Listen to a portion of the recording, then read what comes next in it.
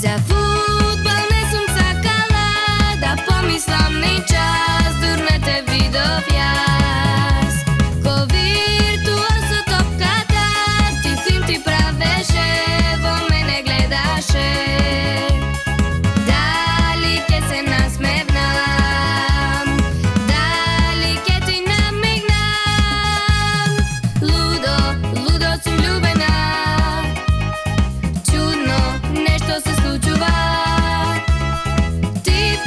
Eu chego de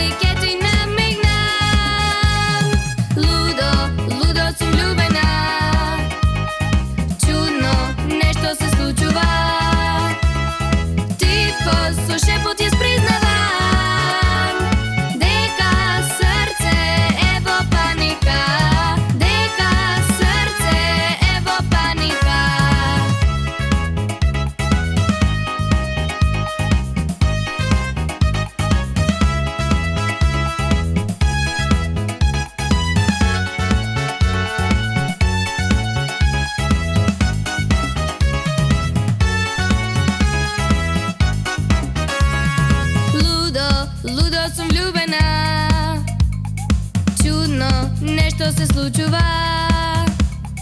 Ти со шепот ја спризна